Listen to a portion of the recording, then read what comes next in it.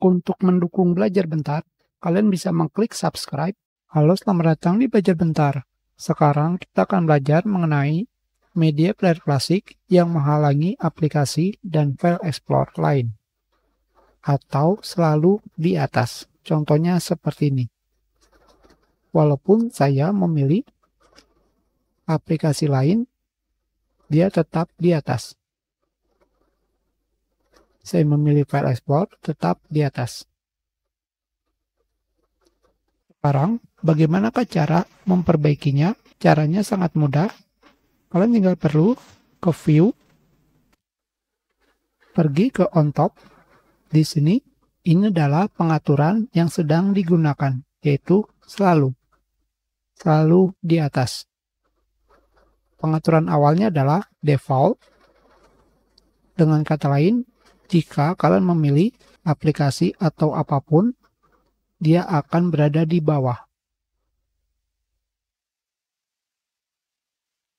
Pilihan yang lainnya adalah ketika diputar, tentu saja ketika diputar itu apakah musik ataupun video. Contohnya seperti ini. Kita pilih aplikasi media player tidak di atas, kita masukkan suara ataupun lagu. Sekarang dia di atas. Tetapi jika sudah selesai, akan kembali di bawah. Seperti ini. Begitu pula dengan video.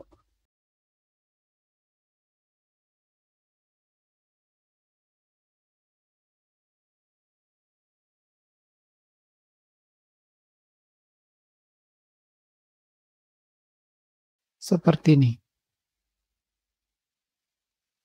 Tentu saja jika video tersebut dijeda atau di pause, maka media player akan kembali seperti semula. Pengaturan selanjutnya adalah ketika video dimainkan. Tentu saja sama saja seperti sekarang. Ketika video dimainkan, dia akan tetap di atas. Tetapi jika suara atau musik, dia akan di bawah. Seperti saja mengenai media player klasik yang menghalangi aplikasi dan file explorer yang selalu di atas. Kita sudahi pelajaran kita. Terima kasih.